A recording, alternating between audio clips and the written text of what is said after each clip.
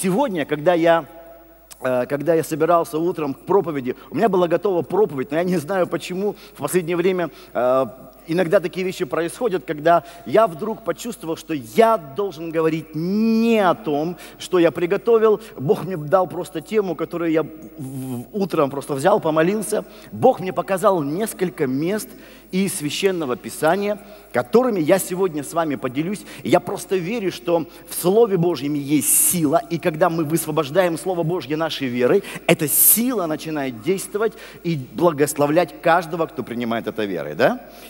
Итак, давайте откроем, начнем, конечно же, со слов Христа и откроем Евангелие от Матфея, пятую главу. Откроем Евангелие от Матфея, пятая глава, и прочитаем вместе с 21 стиха. И вот Иисус обращается к слушателям с такими словами. «Вы слышали, что сказано древним «не убивай». Кто же убьет, подлежит суду. А я говорю вам, что всякий гневающийся на брата своего напрасно подлежит суду. Тут же хочу сделать маленькую заметку. А, прежде всего, наш синодальный перевод, я считаю, это один из лучших переводов, отличный перевод. Но, как во всяком переводе, на земле не бывает ничего идеального. И есть несколько моментов в синодальном переводе. И вот один из них вот этот момент, потому что в оригинале, если вы посмотрите этот текст, древние тексты на греческом языке, здесь нет слова «напрасно». Напрасно. Кто гневается на брата своего? Потому что, когда мы добавляем напрасно, мы тут же понимаем, что я и есть то исключение, которое никогда напрасно не гневается, но меня всегда доводит. Ну кто из вас гневается напрасно? А кого доводят? Вот.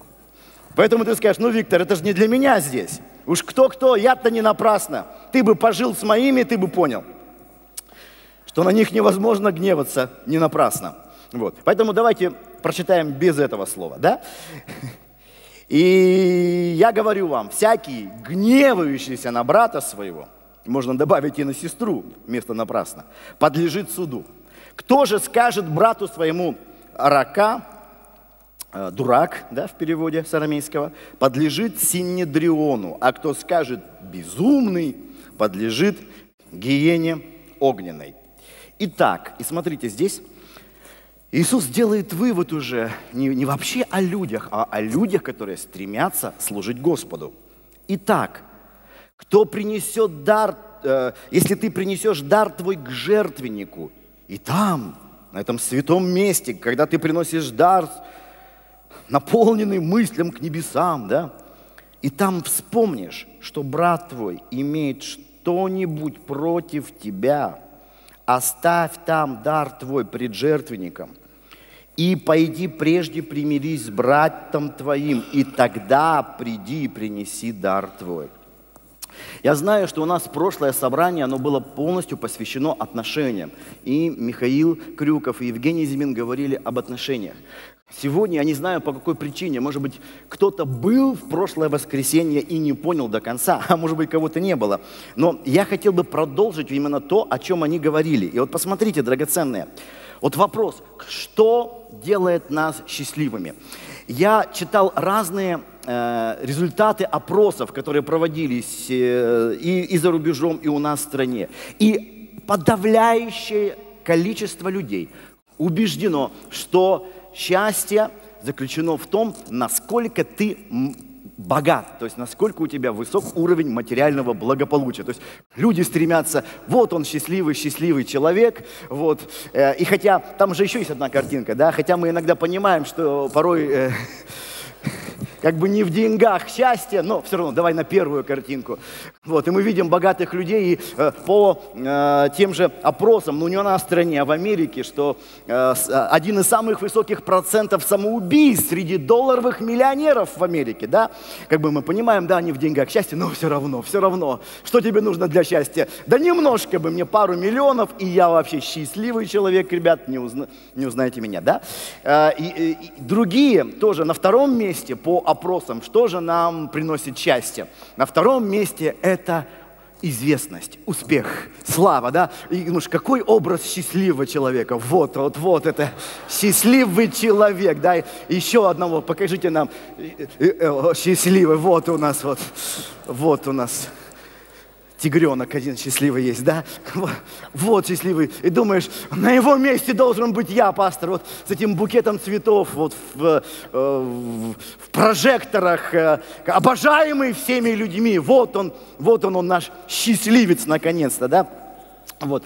А когда э, мы, мы порой видим, что эти, эти порой счастливцы там и в психиатрических больницах лежат и прочее, то есть как бы э, то, как человек себя ведет на сцене и в жизни, это же порой разные вещи, да?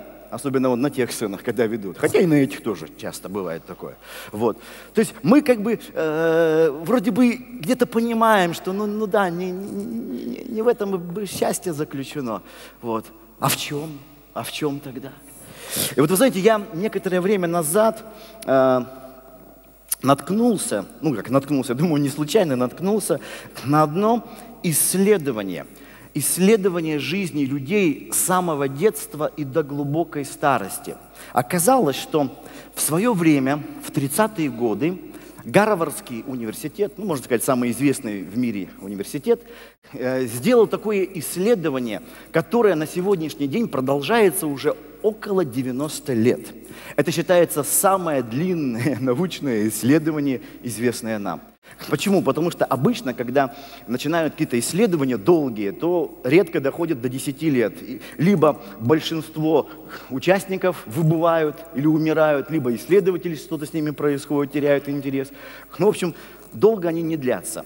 Так вот, это исследование уже длится 90 лет, его все как бы хотят закончить, но все еще продолжают. 90 лет. А, оно началось в первой половине, как я сказал, 20 века. Вот, и э, исследовали около 800 людей, 800 человек, э, задавали им вопросы про личную жизнь, про здоровье, про работу. И вот так вот из года в год, из года в год. Каждые два года они получали э, анкеты, такие толстые анкеты, где они должны были ответить подробно на все вопросы. Помимо этого, и также исследовали их здоровье, брали у них там какие-то анализы, кровь, прочее, прочее. То есть вот было бы такое исследование, делали опросы не только у них, у их знакомых, у их друзей и у членов их семьи, фиксировали все, свадьбы, разводы, рождение детей, карьерные росты, падения, депрессии, запои, все-все исследовали. Причем э, взяли две категории людей. Первые это были э, молодые студенты Гарварда, то есть, как правило, люди из обеспеченных таких семей. И э, другая была категория большая из бедного района Бостона, где живут, как правило, небогатые люди. Небогатые люди. Так вот, драгоценные, уже во, за время этого проекта уже сменилось несколько руководителей проекта. И до сих пор живо около 50 участников проекта. А, большинство из них уже за 90 лет. Сейчас это исследование продолжается, и сейчас исследуют около 2000 детей уже, участников проекта. Вот. И когда проект начинался, никто не знал о будущем этого проекта. Э, никто не знал, кто кем станет. И на самом деле жизни у всех пошли по-разному. Кто-то там стал адвокатом, кто-то стал врачом. Один даже участник проекта стал президентом США. Это единственный участник проекта, чье имя рассекречено, потому что у всех других засекречено. Это Джон Фиджеральд Кеннеди. Он был тоже среди тех студентов, которые участвовали в проекте. Вот.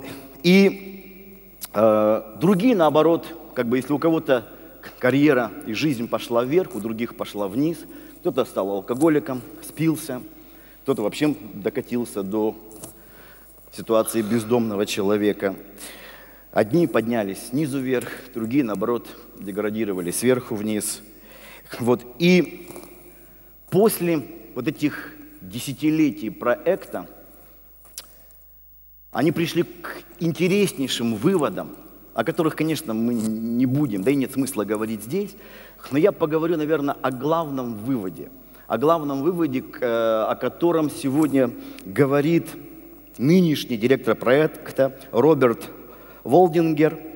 И вот Роберт Волдингер сказал, что вот главное, что я понял, мы пришли к трем важным урокам. И вы знаете, что интересно, все вот эти три важных урока, вроде бы современное открытие, но на самом-то деле об этом уже давным-давно сказано в Священном Писании. Об этих выводах известное Слово Божье. И первый вывод, к которому они пришли, взаимосвязь с людьми – самая полезная вещь для человека. Взаимосвязь. Роберт Волдингер, он так и говорит, одиночество отравляет – и убивает. Они заметили, что те, у кого связь с семьей, с друзьями, с родными, крепче, те счастливей, здоровей и живут намного дольше одиночек.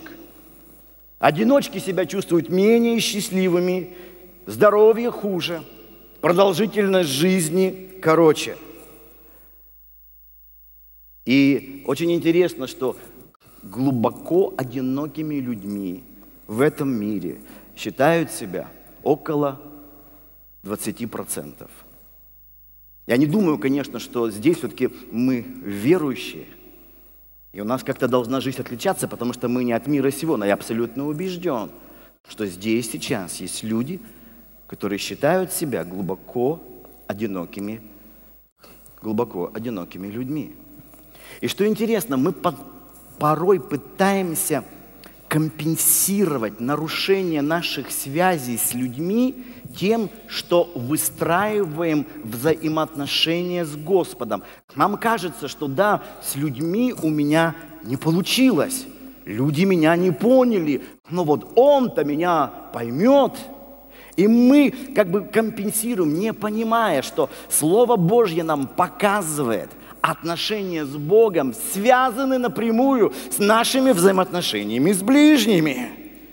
Не случайно Иисус, когда у него были вопросы про закон, говорил, ребят, весь закон заключен в двух вещах. Возлюби Господа Бога твоего, да, всем сердцем, душою, крепостью и разумением. И вторая, причем, хотя он сказал вторая, но он сказал не меньшая – Потому что не бывает первой без второй, а второй без первой. Они связаны. Это как бы две грани одного целого. Вторая – возлюби ближнего своего как?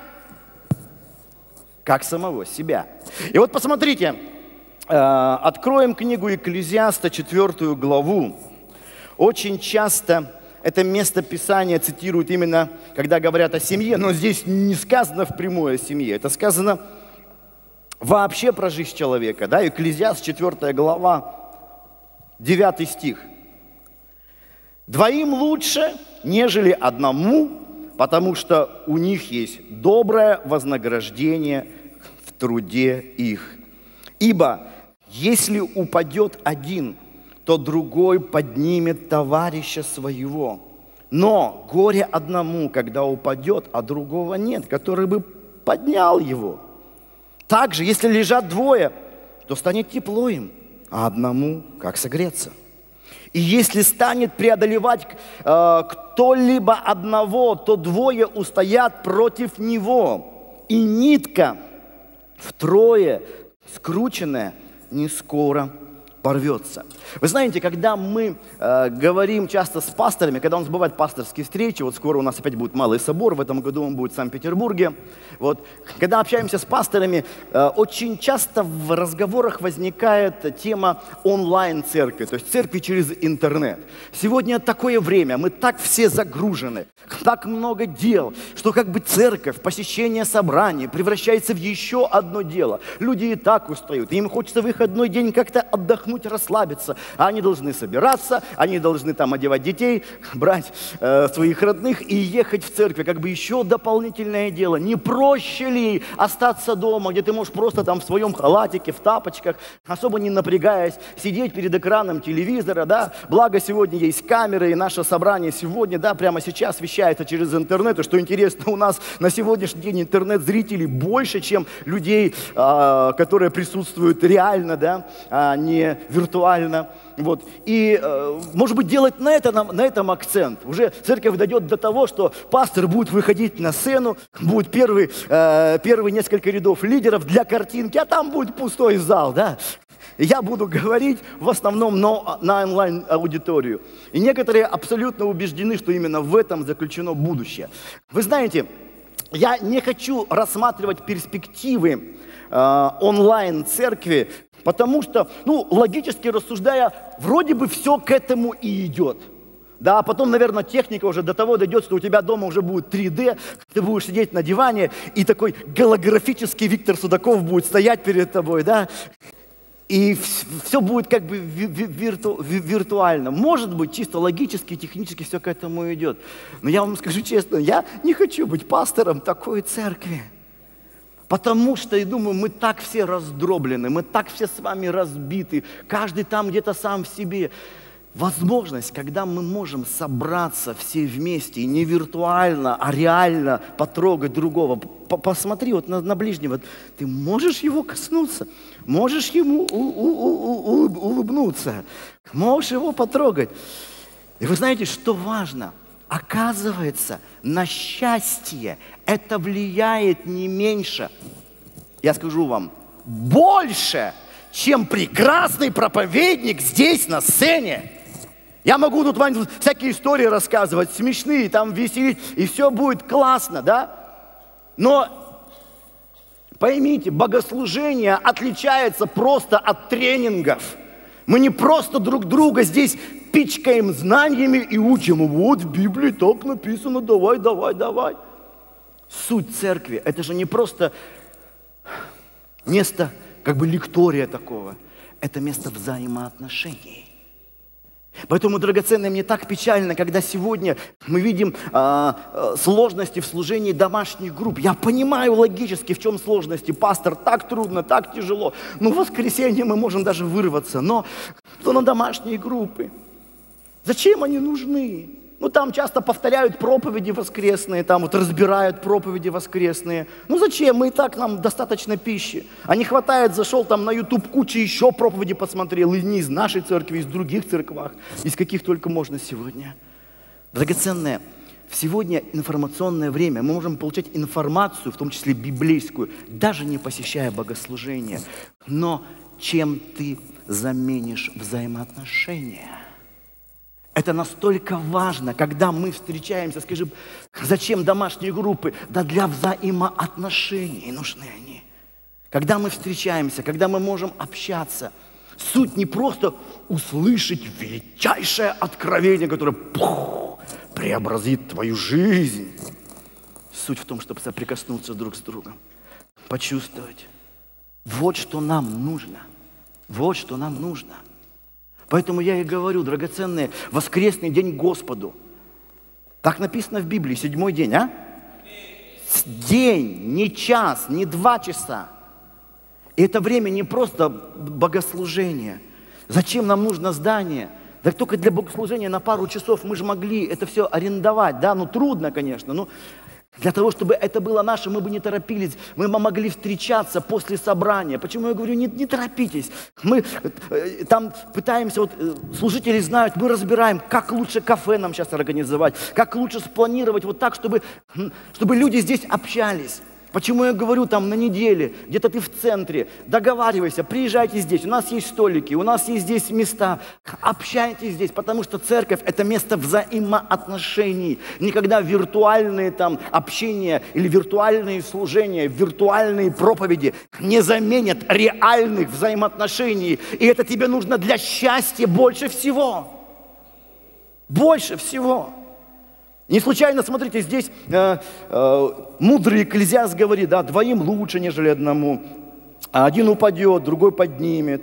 Одному холодно, двоим тепло, да. А, одного начинают побеждать, двое смогут удале, э, устоять, да. И нитка втрое скрученная, да, два, два, два, два, и тут три, нитка втрое скрученная. Это секрет, какие же взаимоотношения? Дух, душа и тело. Когда у нас есть духовные связи, мы служим нашему Господу, мы поклоняемся Ему, мы ощущаем некую духовную невидимую связь. И она самое главное, это то, что нас объединяет. Но помимо духовной связи должна быть душевная связь. И поэтому тут именно важны не только общие богослужения, где у нас единство духа, да, потому что люди не едины духом долго не останутся в церкви, но э, нам важна душа, а душа мы разные люди. Кто-то любит спорт, мне их не понять, там кто-то любит музыку, может быть тебе его не понять. Кому-то нравится культура, кому-то нравится еще. И мы как раз можем иметь друзей, в том числе в церкви, там, на домашних группах, где бы мы могли встречаться и общаться. У нас рак, кому-то нравится ездить на рыбалку, там, кому-то, наоборот, нравится посещать там, филармонии, оперные театры. И, и важно не просто посещать оперный театр там, или ездить на рыбалку там. Важно, когда у нас есть взаимоотношения. Понимаете? Душевная общность. Поэтому э, здесь говорится не просто о семье, вообще о дружбе. Важно, чтобы у нас были друзья. Скажешь, пастор, у меня нет друзей. Что пишет Писание? А? Что говорит Писание? Хочешь иметь друзей? Сам будь каким? Дружелюбный. Работай над собой. Работай над собой. Скажешь, ну я по характеру такой интроверт, закрытый человек. Я вам скажу, я тоже интроверт. Да, из-за того, что я на сцене, не значит, что я экстраверт, интроверт. И у меня нет много друзей, но у меня есть люди, с которыми у меня есть... Они, может быть, не так часто, как я бы хотел, но есть люди. Есть, у тебя должны быть такие люди, с кем ты мог бы строить взаимоотношения, да, душевные. И третье, да, дух, душа, тело, физический уровень. И тут опять-таки, как я говорил, важно, когда мы можем видеть друг друга, когда мы можем вот сидеть все вместе и ощущать некое единение, даже чисто на физическом уровне. Поэтому я люблю на собраниях, когда мы не просто молимся, а мы берем руку ближнего. Ведь по сути духовно мы можем и без этого ощутить единство. Но это важно. Когда ты вот чувствуешь вот не виртуального, почувствуй не виртуального, а реального брата, реальную, реальную сестру, реальную сестру. И мы никогда не должны это сделать формальным, когда есть духовное единство, душевное единство и физическое, ты никогда не будешь одиноким человеком. Второе, второе, э, о чем говорит директор проекта Роберт Волдингер. Смотрите, дело не, не только в том, сколько у тебя есть людей вокруг, или семейный ты, или не семейный, то есть состоишь ли ты в паре, а в качестве отношений с людьми. И мы все, мы все понимаем, что можно быть одиноким и в браке. Можно ощущать глубокое одиночество среди большой толпы. Я думаю, э, все, все вы ощущали, как э, порой много людей, а ты совсем одинок. У меня несколько раз в жизни были, помню, однажды, когда пригласили на там один прием в Екатеринбурге, там, где были всякие шишки, там директора заводов, ректоры вузов, и они как-то все друг друга знают. Я помню, я пришел туда, я никого там не знал.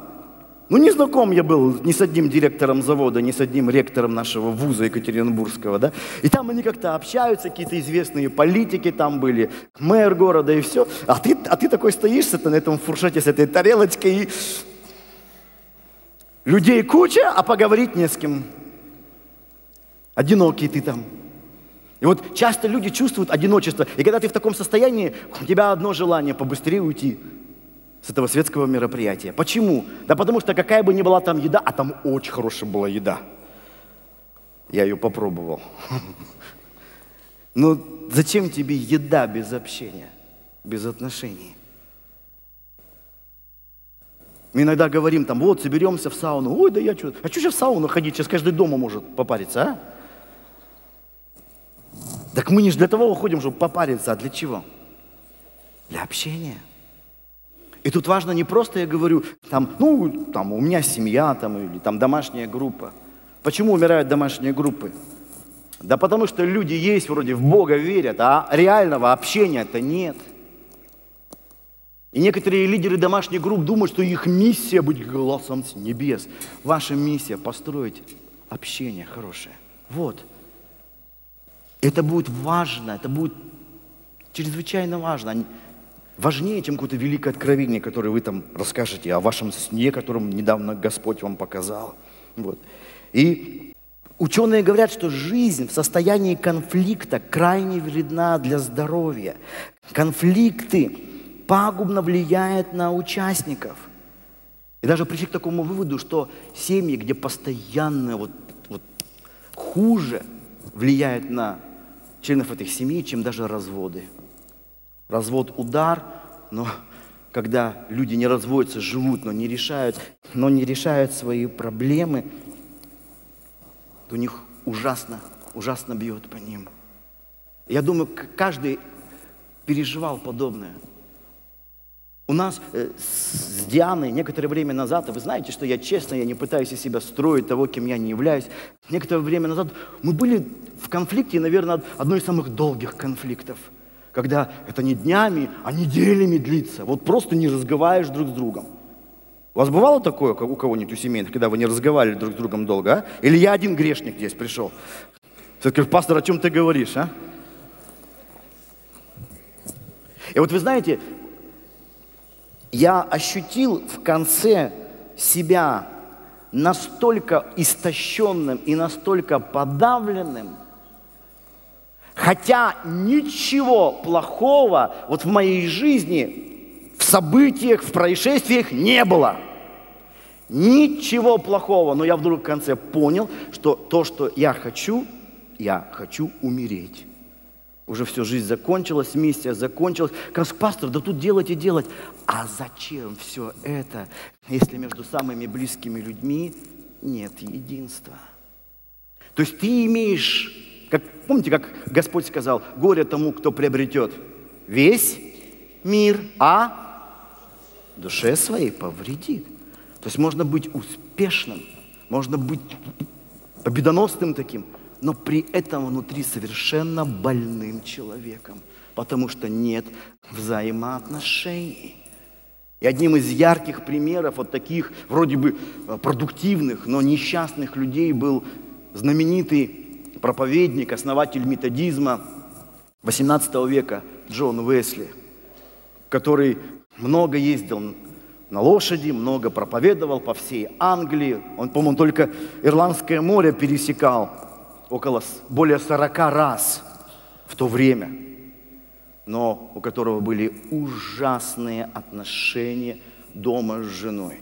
И там некоторые друзья приходили домой, увидели, как его жена таскает за волосы по полу эту глыбу христианской истории. Мне даже иногда кажется, что он, наверное, потому так много и путешествовал, чтобы дома пореже бывать. Скажешь, пастор, получается плохая семья стимул для миссионерства?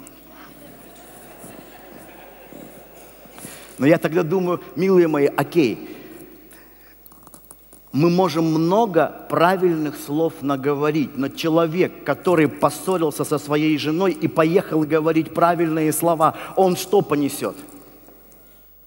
Правильный дух или неправильный? Неправильный. Поэтому столько людей, которые выходят на сцену в церквах и говорят правильные слова, цитируют Библию, а жизни-то ты за это не чувствуешь. Потому что важно не просто правильно говорить. За нашими словами жизнь стоит. Когда поднимаешься сюда, понимаешь, Бог желает тебя использовать, не просто наговорить всем. Да зачем вам это? Вы можете и дома Библию почитать. Но дух, который бы нес исцеление – нес благословение, когда вот, вот побыл на собрании, да, и вроде бы почитали места из Библии там во время проповеди, которые ты сто раз читал, а после собрания чувствуешь себя как на крыльях. Переживали такое? Что произошло? Да как будто Бог наполнил тебя через места из Библии, которые ты сто раз читал до этого. Бог коснулся тебя, наполнил тебя жизнью, радостью, любовью, гармонией. И вот э, ученые Гарвардского проекта, они, знаете, определили что? Что люди не просто долго живут, которые в хороших отношениях. Они исследовали э, э, участников проекта, которым было 80 лет, и на их здоровье они сравнили э, это с периодом, когда, им было, когда они были в середине проекта, то есть примерно 40-50 лет. Так вот, смотрите, у них были все данные о участниках проекта в 40 лет, и вот они видели данные, когда им 80 лет. И смотрите, оказывается, на уровень здоровья 80-летних повлиял больше всего даже не уровень холестерина в 50 лет, и не, и не то, там, что с ними было в 50. Наиболее счастливые в отношениях которые 50-летние э, в отношениях были наиболее здоровыми в 80 лет. Отношения повлияли. Люди с хорошими отношениями не теряли радость, даже когда проходили через сложные периоды. То есть у тебя трудности, а трудности есть у всех. Ведь вопрос счастья – это же не вопрос удачи – мы все проходим через сложные периоды, но одни проходят через сложные периоды и хранят радость. Семья проходит через сложный период одна и еще ближе становится, а другие проходят через сложный период, распадаются отношения. Почему? Да потому что, драгоценное, когда человек имеет гармонию и проходит через сложности, проходит через трудности, да, сложно, да, трудно, но счастье не теряется, потому что счастье оно где? Вокруг? Царство Божье внутри вас. Ты ощущаешь внутри вот эту гармонию, и это помогает тебе пройти через сложный период. А когда вот этого нет внутри, нет отношений, то у тебя помимо сложностей в твоей работе, карьере или еще в каких-то жизненных вещах накладывается еще трудности эмоциональности, опустошенности – и тогда вообще жить не хочется. Вообще жить не хочется. Я до сих пор помню историю, которую моя бабушка, знаете, моя бабушка, она, э, она уже ушла к Господу, она была профессором медицины, и она именно занималась э, акушерством маленькими детьми. Вот. И она нам как-то с Дианой рассказывала о вот этом периоде послевоенном, когда огромное количество детей оставались сиротами, потому что родители погибали, там кто-то на фронте. Было много детей, и детские дома были переполнены. И наблюдалась так называемая беспричинная смерть детей. То есть дети э, ко многим не, могли просто физически подходить. И вот дети, которые лежали, и а, они знали, вот вроде бы маленький младенец, что он еще знает? Но когда младенец понимает, плачь, не плачь, кричи, не кричи, к тебе никто не подойдет, то, казалось бы, здоровые дети внезапно умирали. Одиночество. Вот это ощущение одиночества. Хотя потом исследовали их тело, но не было причин. Одиночество может приводить даже к физической смерти у младенцев – Насколько это опасно. Насколько опасно. И когда мы приходим к Господу, нам кажется, вот мы пришли к Господу, и все, Бог нам заменяет все. Бог нас не уводит от жизни, вот в некий, опять-таки, виртуальный духовный мир отношений с Ним, когда ты уже все, все, никто мне не нужен. Да нет, Бог нас не от мира уводит, Бог нас наполняет любовью и силой, чтобы мы жили в этом мире, но уже с гармонией, с радостью и счастьем. Поэтому он и говорит, если вспомнишь, что брат твой имеет что-то против тебя, не, не продолжай дальше усиленно кричать в небеса, а помирись. Потому что то, что делает Господь, ему, помните, ему же что нужно? Милость или жертва? А? Милость. Милость превозносится над судом. Бог говорит, милости хочу, а не жертвы. Он скажет, он меня очень обидел, и я не напрасно разгневался на него, не напрасно. Да всегда напрасно, всегда напрасно. И вот смотрите, об этом пишет еще один апостол, Петр, первое послание Петра, третья глава, обращение к мужьям.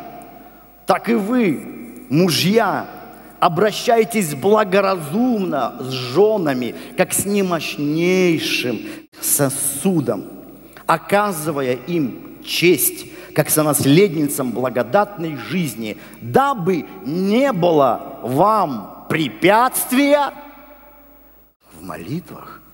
Казалось бы, какое препятствие? Бог, я хочу к тебе, мне такие с тобой прекрасные взаимоотношения, я собираюсь еще их улучшать. Но как ты их улучшишь? Отношения с Богом напрямую связаны с отношениями с ближними. Да, и когда у тебя плохие отношения с, с близкими людьми, потом начинаются проблемы и в твоих общениях. Поэтому нередко не люди себе надумывают. Вот в чем э, характер лжедуховности, когда люди пытаются компенсировать отношения с людьми отношением с Господом. И они это компенсируют, и приходит как бы лжедуховность, надуманность. Потому что настоящая духовность, она через тебя к людям идет. И не может не исцелять взаимоотношения. Не может исцелять взаимоотношения. Вот. Когда в действительности э, у нас вот трудные отношения были, да, я, я помню, э, как-то вот Диана была здесь в центре на репетиции, вот, и они были с Алисой, да, я думаю, съезжу за ними, заберу их на машине, поехал, что-то мы созвонились, не поняли друг друга, ну, точнее, они не поняли меня, вот, э, они не поняли меня, я, и я еду такой, да, э, и, а поехал так, чтобы улучшить отношения, понимаете? Думаю, вот чтобы увидела жена, какой у нее муж герой, он прямо вот все бросает дела и едет за ней на машине вот через, через весь город просто во время, во время часа пик. Какова любовь. Вот едет на машине. Я помню, поехал, и, и, и мы договорились, а сейчас же в центре сложно, да, а тут еще у нас какие-то тут какие-то гости приезжают, что-то тут у нас то перекрывают все время в городе, да, у нас же тут какая-то, ну, с, мы, мы, мы готовимся вообще к грандиозному событию, ради которого наш город, в принципе, и был основан в свое время, я так понимаю. Вот. Мы, мы все настолько готовимся, что сейчас уже как бы вот, как бы вот это событие, которое у нас будет в следующем году, да, вот, вот этот чемпионат мира по футболу, да, вот как готовимся, и, и как бы сегодняшняя жизнь людей в нашем городе сейчас не важна вообще ни для кого, понимаешь? Ну, ну постоишь пару часов в пробке, не страшно, главное. Вот. Вот. Я помню, ехал, там какие-то пробки, и, и там, где можно стать, нельзя стать, а там, где нельзя стать, что-то можно стать. И мы договорились, и что-то, как я говорил, они меня не поняли. Вот, и, и мы разминулись, и я там не, не, туда, не, они не туда пришли, я там не туда, мы там встречались. И, короче, когда они зашли, наконец, сели в машину, я такой был раздраженный на них. Я все сказал. И, короче, это не улучшило вообще отношения, их только ухудшило. Почему? Да потому что важно не то, что ты в браке, важно качество взаимоотношений. Качество взаимоотношений. Вот что важно. И когда ты поймешь, что очень нравится, как Григорий Померан сказал, что характер полемики важнее предмета полемики. То есть, как ты общаешься, важнее того, о чем ты говоришь. Люди часто думают, что мы должны что-то доказать другому. Да, милые мои, намного важно иметь мир – когда мы говорим о счастье, как, как звучит по-гречески счастье, кто помнит? А? По-гречески счастье. Никто не помнит. Как будто мы не в Греции. Макариос, помните же? И как у нас переведено в синодальном переводе это Макариос? Блаженный, блаженство. Так смотрите, сколько заповедей блаженств, счастья связаны именно с чем? Взаимоотношениями. Блаженны милостивые, ибо они помилованы будут. Где, как не в семье, нужна милость, а? Кто больше жены грешит в жизни? Я не знаю, кто. И ты скажешь, пастор, у меня такая жена столько всего делает, но Бог тебе дает милость. Блажен, блаженны миротворцы, помните, да? И обы они будут наречены сынами Божьими. То есть очень многие заповеди связаны именно с нашими отношениями. Отношениями. И потом такие часто мужья на, на, наорал на жену, наподавал детям, пошел молиться Господу, утешителю. И Бог тебя не утешает. Почему? Иди помирись. Не, не могу, потому что гнев мой не напрасен. Помилуй. Помилуй, блаженны милостивые, счастливы милостивые. Помилуй. И тогда на самом деле ты ощутишь и Его присутствие в твоей жизни, в твоей семье. И жить будешь долго и счастливо. Об этом Библия говорит, об этом современное гарвардское все исследование. Об этом. То есть вы понимаете, когда Библия говорит о семье, это же не просто вот какая-то нам дополнительная нагрузка, это источник счастья, насколько мы его используем. Потому что семья, где постоянная атмосфера – это шторм, буря, землетрясение, вот эта семья, она истощает. Не для этого же. Поэтому смотрите, Петр, вот я остановился, да? Мужья, еще раз, седьмой стих. Мужья, обращайтесь благоразумно, как с немощнейшим сосудом. Оказывая честь, как сонаследницам благодатной жизни, дабы не было вам препятствия в молитвах. Наконец, будьте, смотрите, и дальше, чтобы мы не поняли, что здесь только о семье. Скажешь, пастор, а я вот не женат или не замужем. Ну вот что мне делать? Да для всех важно. Наконец, будьте все единомысленные, сострадательные, братолюбивые, милосердные, дружелюбные, смиренно мудренно. А? Все это, вот каждая черта необходима именно для наших взаимоотношений. Кажется, Петр, ты что-то не о духовных вещах пишешь. Нам-то интересно, как Бога познать. А Петр тебе об этом и говорит. Как Бога познать? Да очень просто, с ближними. Будь единомысленный, сострадательный, братолюбивый, милосердный, дружелюбный, смиренно-мудренный. Дальше. Не воздавайте злом за зло или ругательством за ругательство. Напротив, благословляйте, зная, что вы к тому призваны, чтобы наследовать благословение. Сколько в жизни вот таких ситуаций, да?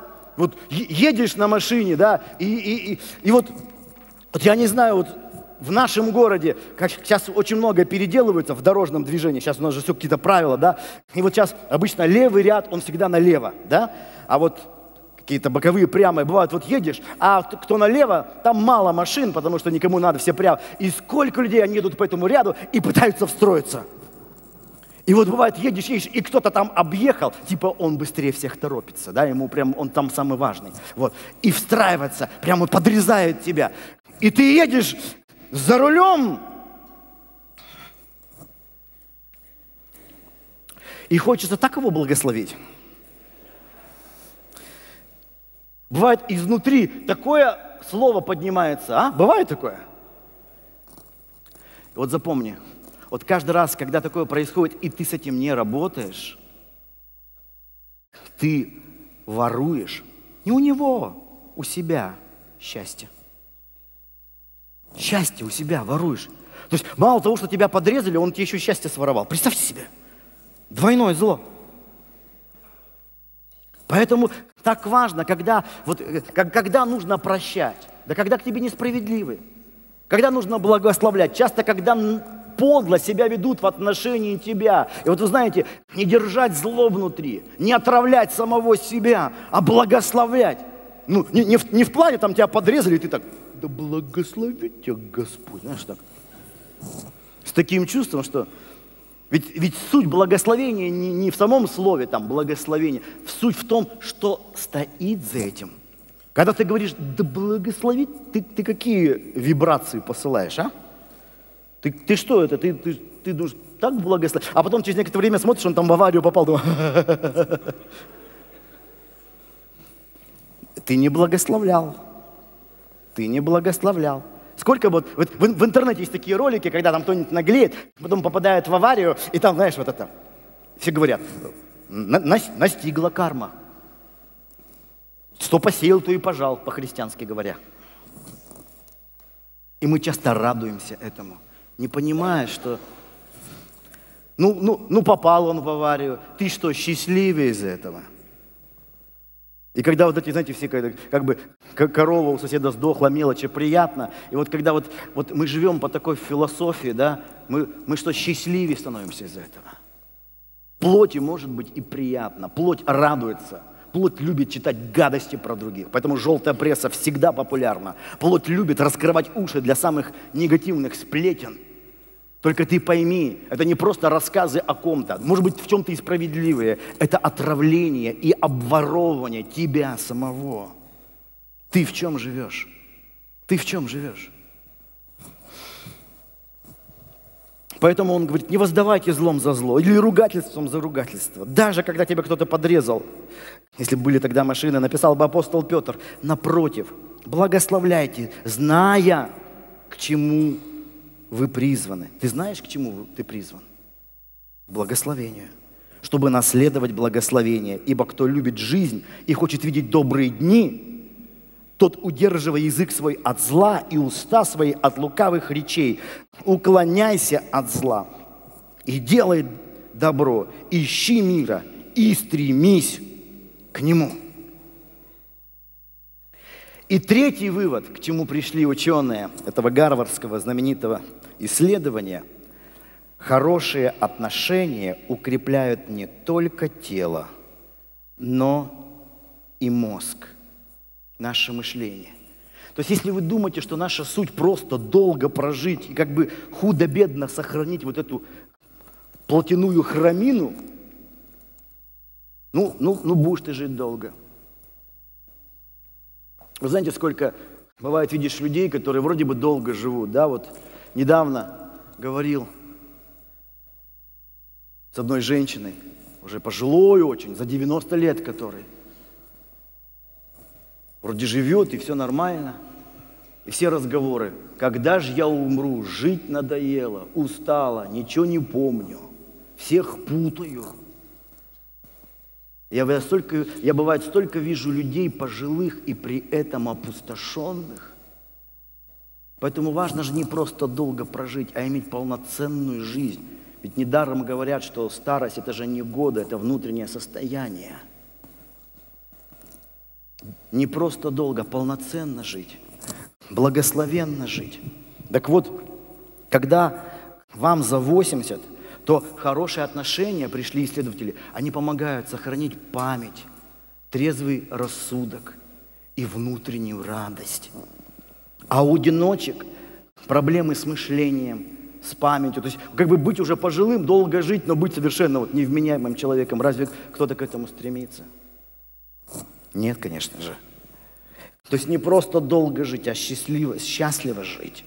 Хорошие отношения при этом пришли к выводу исследователи, они не означают без, безоблачность. Есть пары, им уже за 80 лет, браку несколько десятилетий, они до сих пор ссорились там, как э, пожилые люди, как, как мальчики с девочками часто. Нет, это ты виновата, нет, это ты виновата. Поэтому они говорят, хорошие отношения, гармоничные отношения, это не, не значит нет ссор. Ссоры могут быть, но важно потом примирение, прощение. Вот это ощущение гармонии. Да, бывает ухудшаются отношения. Это не то, что у нас всегда все идеально. Да не бывает таких отношений идеальных. Есть кризисы и в семейной жизни. Есть кризисы и в дружбе. Правда же, драгоценная? Но когда мы преодолеваем вот это ощущение, что даже если вы поссоритесь, у тебя все равно есть на кого положиться. Все равно есть кому доверять. То тогда, это исследователи говорили, эти ссоры не влияют на ваше здоровье, когда после этого все равно есть восстановление, примирение и фон вашей семейной жизни, вот этот бэкграунд, это постоянное доверие друг к другу и любовь. И я хотел бы закончить, конечно же, словами апостола Иоанна из первого послания, 4 главы. Возлюбленные, 11 стих, 4 глава, 1 Иоанна. Если так возлюбил нас Бог, то и мы должны любить друг друга. Бога никто никогда не видел. Если мы любим друг друга, то Бог в нас пребывает, и любовь Его совершенно есть в нас. Смотрите, с одной стороны, Бога никто никогда не видел, а с другой стороны, Бога можно увидеть в каждом из нас. Как? Когда мы наполняемся им, соединяемся им, то мы наполняемся чем? Любовью. Потому что Иоанн там дальше и пишет, Бог есть любовь. И когда ты поступаешь по любви, проявляешь любовь, тогда Бог тебе виден окружающим. Об этом пишет апостол. Если мы любим друг друга, то Бог в нас пребывает, и любовь Его совершенно есть в нас. И мы познали, 16 стих, и мы познали любовь, которую имеет к нам Бог, и уверовали в нее. Бог есть любовь. И пребывающий в любви пребывает в Боге, и Бог в нем. Любовь до того совершенства достигает в нас, что мы имеем дерзновение в день суда, потому что поступающий в мире сем, потому что поступаем в мире сем, как Он. Смотрите, пребывание в любви дарует тебе уверенность, смелость, как написано у нас в синодальном переводе, дерзновение. В любви нет страха, но совершенная любовь изгоняет страх, потому что в страхе есть мучение, боящийся несовершен в любви. Когда порой смотришь какие-то новости, какая-то информация, вы знаете, вокруг нас столько негативного. Люди любят говорить о негативном. Много негативной информации, негативных новостей. И бывает, знаешь, доходишь до такого состояния, что уже начинаешь бояться, бояться жизни, бояться будущего, бояться за все. Так вот, Иоанн говорит, есть выход из ситуации. И этот выход не идеальная сторона, где нет плохих новостей. Такой стороны не существует на земле. Выход – это пребывание в любви и гармонии со своими ближними. Потому что что бы ни было, ты знаешь, ты един. Ты скреплен вот этими невидимыми связями в духе, душе и теле. И поэтому, да, есть сложности, но для кого-то сложности, как страх, ввергающий их в депрессию, а для тебя лишь временная проблема, которую ты преодолеешь обязательно – потому что в тебе любовь. А в любви нет страха. Будем любить Его, потому что Он прежде возлюбил нас. Кто говорит, я люблю Бога, а брата своего ненавидит, тот лжец, ибо не любящий брата своего, которого видит, как может любить Бога, которого не видит. И мы имеем от Него такую заповедь, что любящий Бога, чтобы любящий Бога, чтобы любящий Бога, скажи ближнему, чтобы любящий Бога любил и сестру.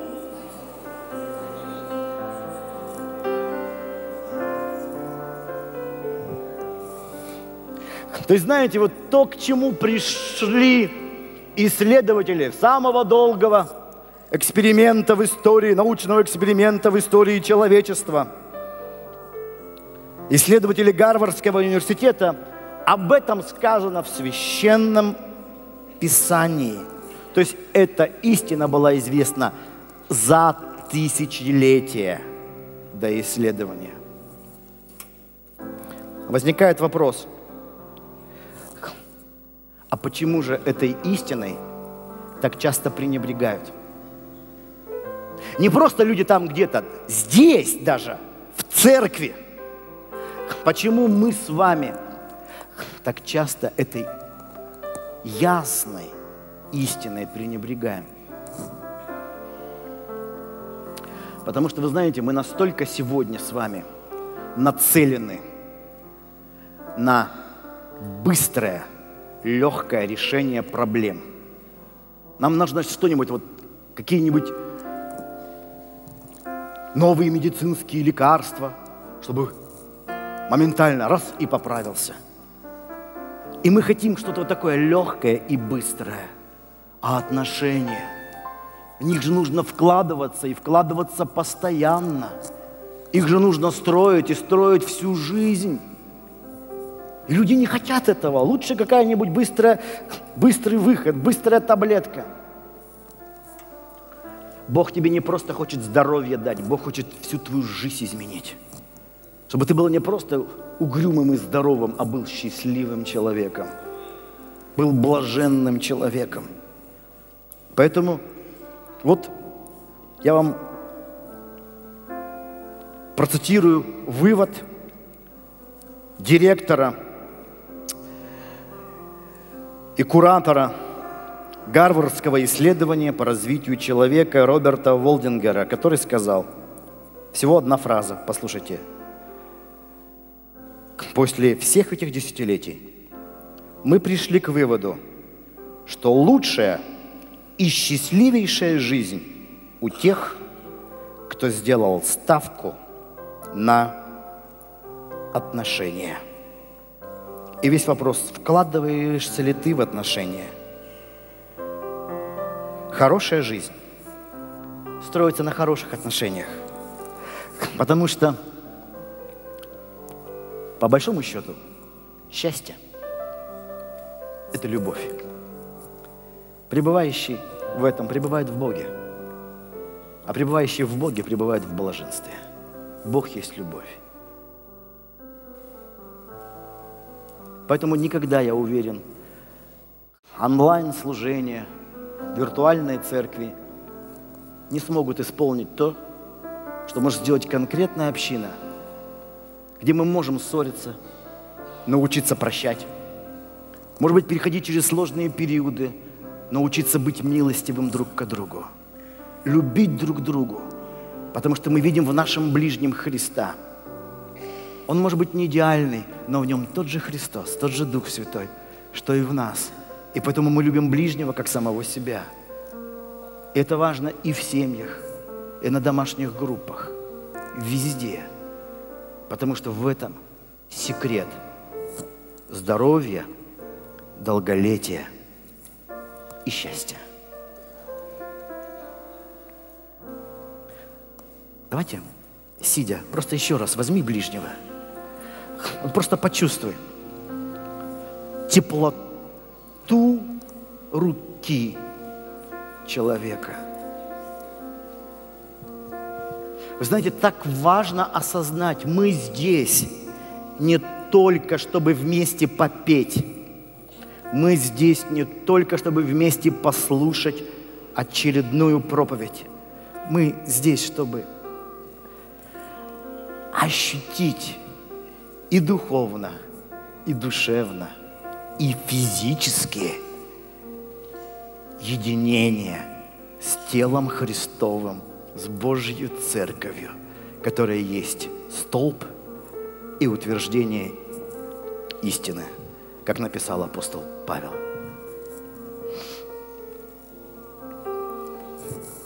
Вы знаете, давайте сделаем такую вещь. Вот закрой сейчас глаза – всемогущий Господь. Спасибо Тебе за каждого человека, который здесь сейчас находится. Я верю, Бог, что ни один здесь не случайен. Каждый из нас любим Тобой. И я молю, мой Бог, чтобы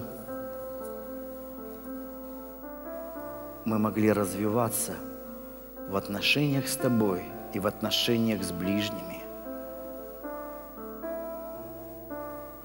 Ты принимаешь наш дар, нашу жертву только когда мы в мире с ближними своими. Только такое служение нужно и угодно Тебе. Только такую жертву ты принимаешь. Ты не принимаешь жертву из рук обиженных, разгневанных, недовольных. Часто наши молитвы не доходят до небес, потому что мы говорим ее из нашего эгоизма, из нашего агрессии какой-то. И я молю, мой Бог, исцеляй отношения между нами. Исцеляй отношения в семьях. Исцеляй отношения в домашних группах. Исцеляй отношения между ближними, Господь. Даже когда мы чувствуем себя несправедливо оскорбленными, униженными или даже преданными, нет ничего, что не могла бы простить сила Твоей любви. Я молю, наполни Твоей любовью. Дух Святой изливается в сердца нашей любовью, чтобы мы прощали, были милостивыми и поэтому блаженными. Несли мир, были миротворцами и поэтому были блаженными. Боже, если кто-то чувствует себя оскорбленным или оставленным, или преданным. И из-за этого он ожесточился и стал одиноким. Исцели его сердце сейчас. Ты же нас прощаешь. Несмотря ни на что, ты любишь нас. И твоя любовь должна быть в нас. Любовь безусловная, всеобъемлющая. Наполни твоей любовью. Исцели семьи, в которых долгое время возможен конфликт. Исцели, Господь. Исцели, Боже.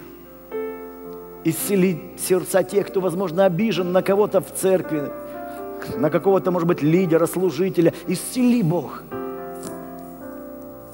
Исцели, Господь, нас. Исцеляй. Исцеляй. И я молю, Боже, особенно за людей, которые чувствуют себя внутри глубоко одинокими. Исцели, Бог, их. Кто глубоко одинок в семье или среди друзей. Исцели, мой Боже. Пускай уйдет всякий грязь, всякий мусор, всякий хлам, который перекрывает этот поток любви течь через нас и к нам. Чтобы мы были свободны дарить любовь и принимать любовь. Чтобы мы были открыты, Господь. Быть благословением для других и сами принимать благословение от других. В этом и есть секрет единения церкви. В этом невидимом единстве, в единстве, которое не исчезнет даже с окончанием нашей физической жизни здесь на земле. Единство, которое продолжается, потому что оно вечно. Все прекратится, а любовь пребывает вовек. Пророчества прекратятся, языки умолкнут – а любовь пребывает вовек. И я молю, мой Бог, чтобы мы пребывали в Твоей любви, и любовь пребывала в нас. Когда в любовь в нас, тогда дыхание вечности ощущается в церкви. Я молю, мой Бог, чтобы люди, приходящие сюда, ощущали эту атмосферу вечности, атмосферу Твоего присутствия здесь. Не просто в музыке, в профессиональных певцах, музыкантах, проповедниках, а в каждом из нас. Ведь каждый из нас клеточка твоего тела, нужная и важная. Каждый из нас дорог для тебя. И поэтому нет людей, которые для нас не должны быть дороги. Ведь ты любишь каждого. Я молю, чтобы в нас были те же чувствования, что и в Тебе, Христос. Сора романдекей. Аллилуйя. Наполни. Чтобы церковь была настоящим, настоящей семьей. Это был настоящий дом, где бы нам было хорошо. Не только в воскресенье. Чтобы могли здесь собираться, встречаться, общаться. Служить друг другу. Во имя Иисуса. Во имя Иисуса. Во имя Иисуса.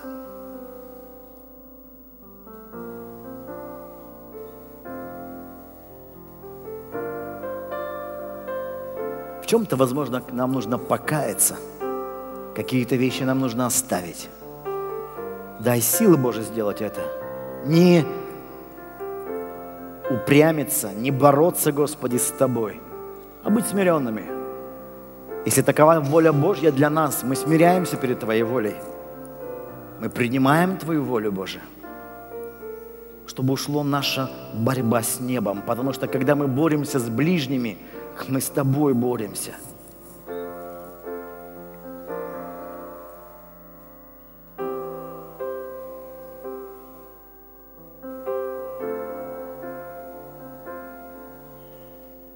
Да будет благословенна рука человека, который мы сейчас держим, жизнь человека, сердце человека, судьба человека, который рядом с нами.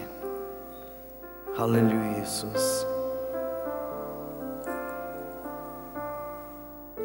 Я молю, чтобы церковь наша была местом счастливых людей. Чтобы здесь собирались счастливые люди, потому что это любящие люди, любящие тебя и любящие ближнего. Чтобы церковь была местом радостных людей, здоровых людей, наполненных миром, гармонией и верой.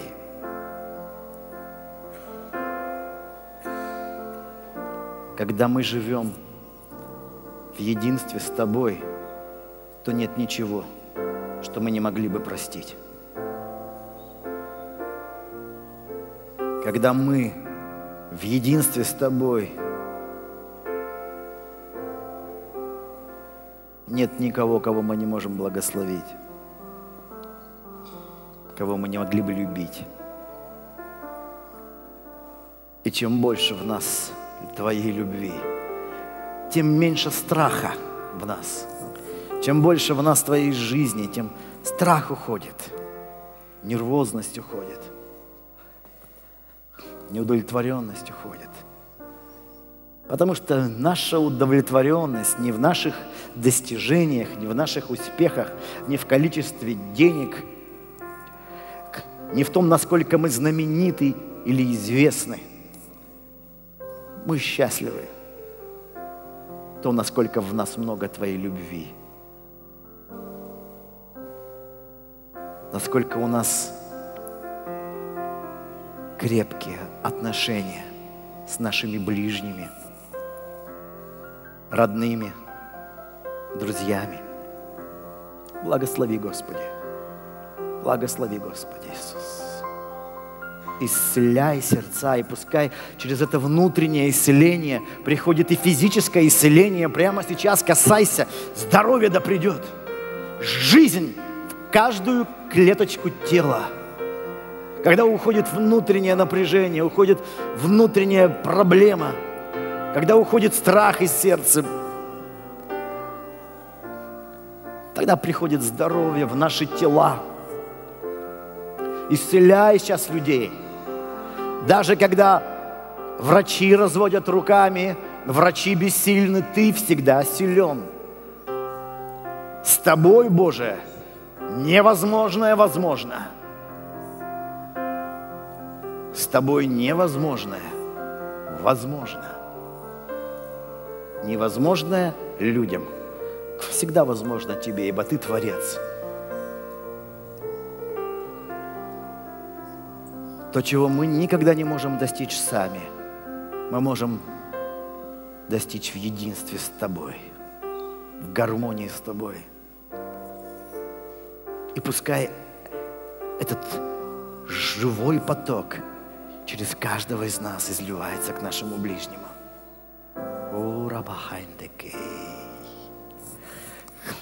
Исцеляй наш дух, душу, тело. Да будет наш дух, душа и тело в здравии, в целостности. Как сказано у апостола Павла, в целостности, цельными, здоровыми, неповрежденными. Аллилуйя, Иисус, исцеляй, Иисус. Совершай чудеса во имя Иисуса в наших сердцах, в наших телах, в наших душах, в наших семьях.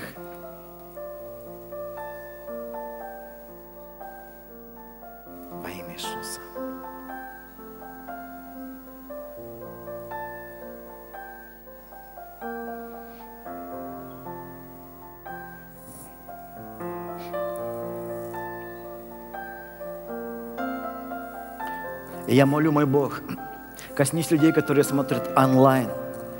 Особенно, Боже, я молю, коснись тех, кто смотрит онлайн по причине одиночества, кто, возможно, разочаровался и перестал ходить в церковь свою, в каком бы городе он ни жил, в какой бы стране он ни жил, коснись его там, сейчас, во имя Иисуса Христа. Коснись этого человека, исцели его, Боже, чтобы пришел мир, жизнь, чтобы он простил всех, кто его обидел, вольно или невольно. Исцели, Боже, раненое сердце – Исцели этого человека, который там сидит и смотрит. Исцели во имя Иисуса Христа. Исцеляющая сила Духа Святого.